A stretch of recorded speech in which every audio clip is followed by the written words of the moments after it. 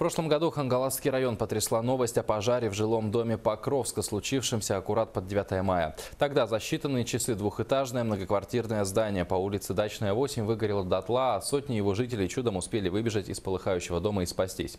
Прошло уже полтора года, а погорельцы до сих пор не могут решить возникший по несчастливому стечению обстоятельств жилищный вопрос. Разбиралась ситуацией наш корреспондент Виолетта Засимова. До сих пор неизвестны причины пожара, случившегося днем 8 мая 2015 года. Кто-то сетует на соседей, устроивших посиделки с мангалом и шашлыками неподалеку от дома. Другой причиной был назван сельхозпал. Но что бы ни говорили, ситуацию в любом случае усугубил порывистый ветер, дувший в тот день со скоростью не меньше 8-9 метров в секунду. Пожарники подъехали, и две машины пустые приехали. Только одна машина полной водой была. И Максоголовское подразделение подъехало, и они сразу начали э, брызгать пеной. Уже дом сгорел, и этот уже, ну как, спичечный коробок. Часть погорельцев на первое время поселили в номера местной гостиницы. Была оказана единовременная материальная помощь в сумме 25 тысяч каждой семье.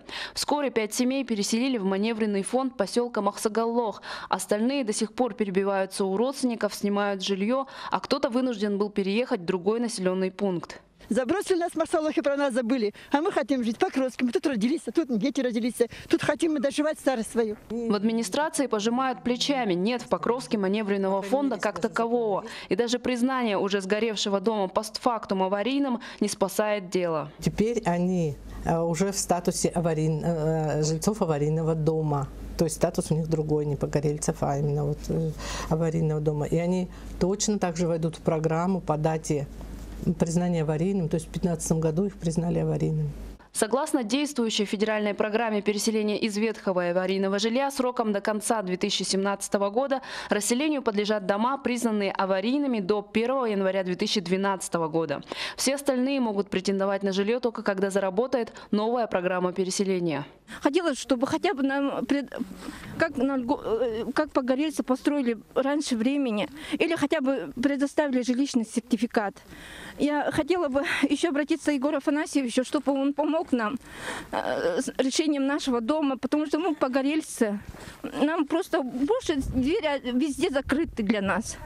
Всего с 2013 года в городе Покровске расселены жители 37 аварийных домов. В очереди на вхождение в следующую программу переселения состоят жители еще 65 домов. И эта цифра с каждым месяцем увеличивается. Среди них погорельцы с дачной 8. Но если у остальных худо-бедно есть крыша над головой, то погорельцы вынуждены в прямом смысле этого слова ютиться по углам. Виолетта Засимова, Александр Ярков, НВК Саха, Хангаласский улус.